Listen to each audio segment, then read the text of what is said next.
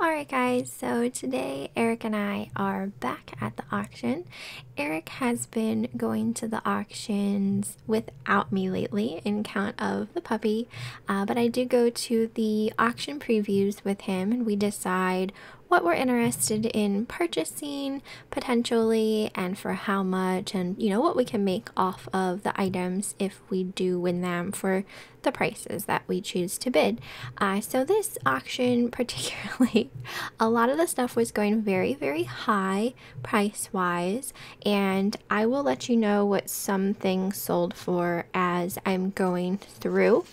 Um, I, like I said, was not there, but uh, Eric did let me know what some of the things sold for. We were interested in this Grim Reaper kind of like poison jar with these cups. Um, that did sell for over $400, so we did not get a chance to bid on it. Eric kind of wanted it to keep for himself, but um, yeah, it sold for too much. Um, but that's, you know, the name of the auction game. You never quite know, you know, what things are going to sell for and who is there to bid on, you know, the specific things. Um, in this cabinet here, I wasn't sure what those things were on that shelf. If you guys know, uh, let me know down in the comments you know, sometimes when I go to auctions, I don't know everything that I'm looking at. A lot of it requires, you know, research and that kind of thing a lot of the stuff in that cabinet was your cast iron pieces and tin pieces. They always tend to sell pretty high at the auction. I don't typically um, bid on those things. I don't do a whole lot of research on them only because I know how much they go for at at the auction but they are really cool pieces. Um, that one right there was like a street sweeper. I thought that was so cool looking. I had never seen anything quite like that before. So it is always though fun to just look at everything and you know seeing things that you've never seen before. So there was a lot of Christmas related items you will see and a lot of these items also went for a lot of money. Um, that red snowman that you see with that top hat sold for over $500 and those Putz sheep with the boxes sold for around $200. So we didn't get either of those and those polychrome birds you saw in front of that snowman, um, those sold for around $220. This yellow Santa you see at the end there sold for $800 and that feather tree that Eric is looking at I believe was the uh, $400 feather tree is what that sold for. Um, he was interested in the feather trees. Um, we kind of want to get one for ourselves, but at those prices, we just, you know, weren't weren't feeling that.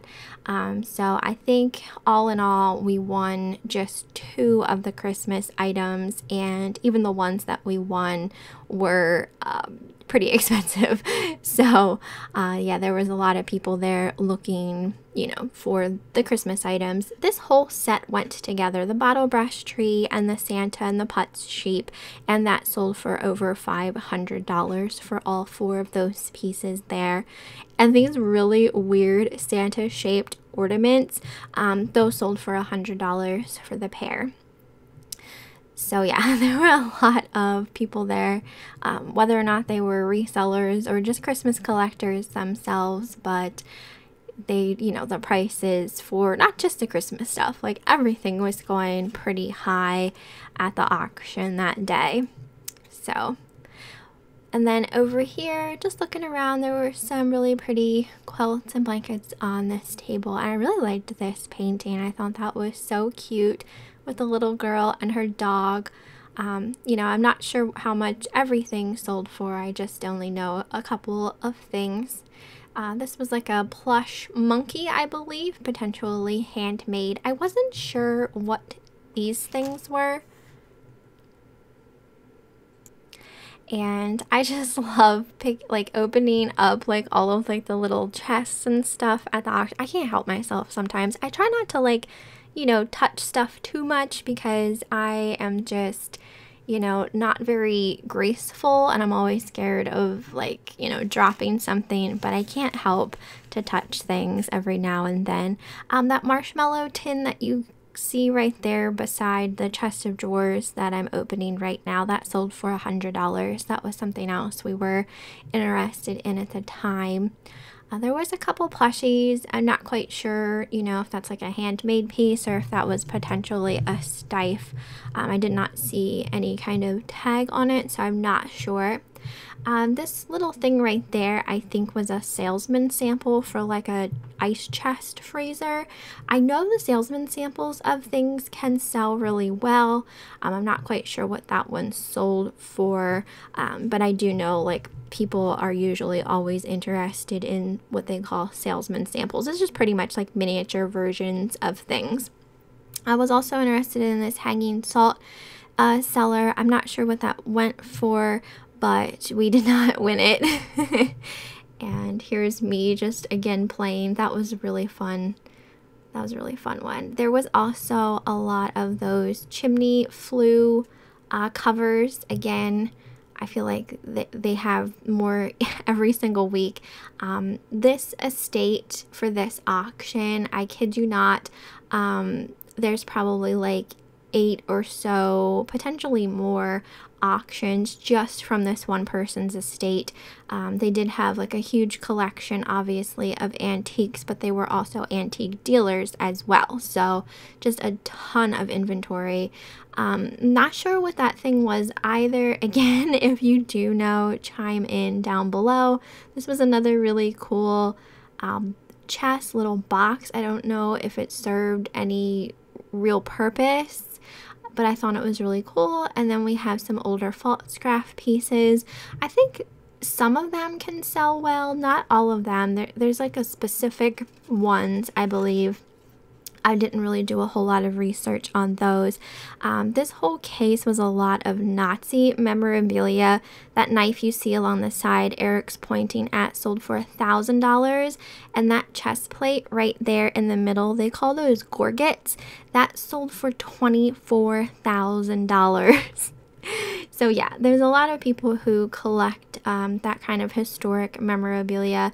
Um, it's definitely not something that you can sell on eBay. So, you know, if people are buying it, they're gonna, you know, have someone who is interested or they're collectors themselves, basically. And I also like to flip through books. That's another thing that I enjoy doing when I'm at the auction. So I think I'm heading back towards this table where Eric is at. Um, I was I thought this painting was so cute of this rabbit and bird. I loved it and that frame was gorgeous. And then there were these two mini oil lamps and then there was a bunch of swords as well on this table and Eric was joking around that he wanted to to pick one up and start playing with them. Um, and then there was like a, a tin like bowling toy like I said, the tin toys tend to sell pretty well at the auction, and that even had like its bowling pins and everything, so that probably sold pretty decently as well. Over here, we have some really old hooked rugs. Um, these I was interested in. I was interested in all of them. Eric said they sold for about $120 a piece, um, but they can sell well. Um, as far as like reselling goes. So if you ever come across any of those old hooked rugs, um, definitely consider picking them up because they can do really well. Um, this was a couple of old books. This first one Eric is looking through, I think it was from the 1920s. Um, when I looked that up, you can purchase it on eBay for, you know, I think less than $20. So it wasn't something I was super interested in, but I just love the illustrations. I thought it was so cute. I think out of all of the books on this table, the only one I had Eric bid on was the one at the end. It's called Rosebuds. I did see that that one was selling pretty decently. But they're all really cute with really fun illustrations, which is what I love and why I am taking the time to flip through them. You can kind of see Eric playing with a vanity set in the background, and we will get to that. I know when I was editing this video, I was like, everyone's probably like, Michelle, why are you flipping through these books? Just show us this vanity set. So yes, it is a beautiful vanity set. Um, it didn't have any maker's marks on or anything like that, so we weren't sure who made it, but I was obviously definitely interested in it. I do not think that it was Bakelite. I did test it, and I just think it was like, um, you know, like a cell like a plastic um, celluloid that did sell for $240 for that set so obviously I didn't win it but it was really unique really interesting I mean all of the pieces were there and it was in um, you know, its carrying case and everything, just so unique and interesting and different. Um, I just, I fell in love with it, but I didn't win it. So yeah, like I said, I tested it um, to see if it was Bakelite. If you don't know how, pretty much you just pick up a piece and like rub it between your fingers uh, for a while until it starts to warm up and then smell it and it'll have like this really weird chemically smell. It stinks, um, but you'll know right away if it's Bakelite because it will have that like kind of scent to it. So when it warms up, it, it emits like a chemical type of odor. So yeah, just admiring that for a little bit. And then over on this table, there was a couple toys. We have a tin train set. I'm not sure. I think Eric was interested in that, but he didn't win it. And then there were some stuffed plushies along here on the side, as well as some dolls. And then a display, an old display. Um, that bulldog was really cool, just very unique. I was also interested in this cat. When you shook him, um, there was like a little maybe ball or something inside I could hear rolling around. Same with this teddy bear. He had like a bell or something inside of him that jingled when I picked him up. There was music playing very loud today. So, well, this day, I should say. Um, so that's why I'm doing a voiceover. This is a really old dollhouse. Um, it's called a Bliss dollhouse. These also can sell very high, very well. Eric said that that one sold for around $400.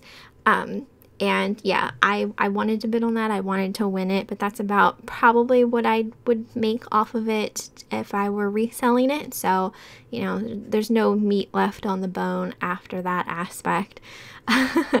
and then um, I was looking at those lamps. I thought those were really pretty on those green bases. Like, they look like they probably would glow. And this was an old um, Staffordshire, I believe it was, England uh, Greyhound statuette. Those can actually sell really well um, as well. I did have him bid on that, but he did not win it at, you know, a decent enough price that we were comfortable with to resell it. And then the rest of the table, I'm not quite sure if there was anything else that I had Eric bid on. Um, that was just a really nice bowl. See, Eric, Eric has to open up like the boxes and the chests and stuff too. So that one actually had a drawer in it. They're really nice though. Like, if you guys won that, what would you put in it? I want to know. Let me know down in the comments what you would store in in a chest like that. Um, oh, and this is a really old Gund Easter bunny back there. I actually did win that. that was something that I did win. I haven't listed it yet though, so I have to get to doing that. And that was a, I loved that bowl. The look of that bowl was beautiful. It was marked Germany. It just had a really pretty design to it. And then over here, this is like the table that they start with at the beginning of the auction. So we got some old tins. This is a lot of like, you know, your really old antique, um, primitive style type of stuff there on that table. I don't think there was anything on that table I was super interested in. Um, I didn't know how to open that box, so I didn't even bother. I didn't want to try and like go forcing it open or something because I didn't know how. Um, and then over here, that was a really nice clock as well, but nothing that I had Eric bid on. I like this rolling pin, but quite frankly, I don't really use rolling pins, so didn't need that. And that was a pretty table. I think we're getting close to the end of everything. Oh, nope, we're not. Here is a big book of matchstick book covers. When I first saw this, I don't know why I was thinking they were like chewing gum wrappers or something like that, like old chewing gum wrappers. Um, they are matchbook covers, so this is someone's like huge collection. I mean, this book was filled. So if like you're a collector of matchbook covers, you probably would have been in absolute heaven with that book.